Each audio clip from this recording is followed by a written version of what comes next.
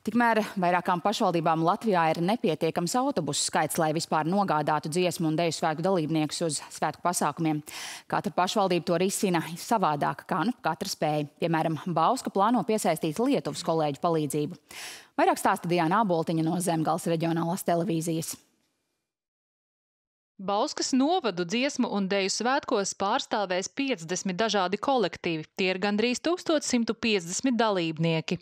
Tie ir gan deju kolektīvi, gan kori, gan divi pūtēju orķestri, folkloras kopas, tādas lietišķās mākslas studijas. Mēs esam tiešām ļoti bagāta pašvaldība ar amatieru mākslas kolektīviem. Tā kā viss ir gatavi, skatas ir aizvadītas. Lai arī kolektīvi ir pilnā gatavībā uzstāties, arī Bauskas novads saskāries ar situāciju, ka šobrīd aptuveni astoņiem kolektīviem pietrūkst vairāki autobusi, ar ko aizkļūt līdz svētku norises vietai Rīgā.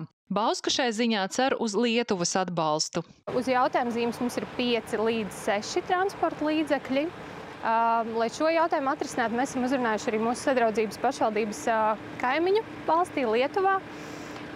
Ļoti ceram, ka izdosies sakārtot jautājumu ar tātad, lietuviešu transporta pārvadātāju licenci tā lai viņi spēj šo pakalpojumu sniegt šeit Latvijā dziesmu deju svētku laikā. Arī 2018. gadā iepriekšējos dziesmu un deju svētkos novadam jau bijusi laba sadarbība ar Lietuvu, kas toreiz izlīdzēja ar autobusiem. Tikmēr Bauskas novada pūtē orķestra kolektīvs cer, ka nepietiekamo autobusu jautājums drīzumā tiks atrisināts. Jūtamies gatavi, mēģinājumi norises spraigi, bet nu, mēs ļoti cītīgi muzicējam arī, arī pārējos pasākumos, kas apkārt novadā notiek.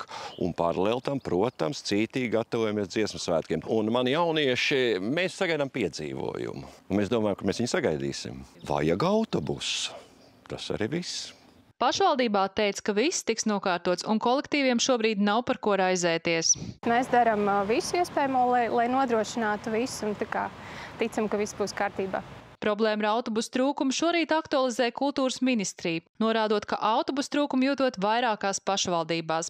Ministrija arī pauž cerību, ka vietvars tomēr spēs tikt galā un visi dziesmu un deju svētku dalībnieki nokļūs uz šī gada galveno notikumu. Diana Boltiņa, Kaspars Rudzītis, Zemgals reģionālā televīzija.